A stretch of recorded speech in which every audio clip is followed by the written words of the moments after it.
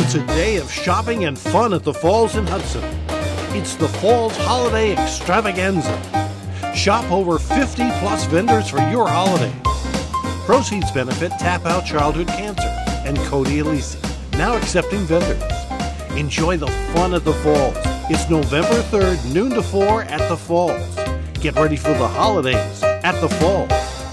The Falls Holiday Extravaganza, November 3rd, noon to 4.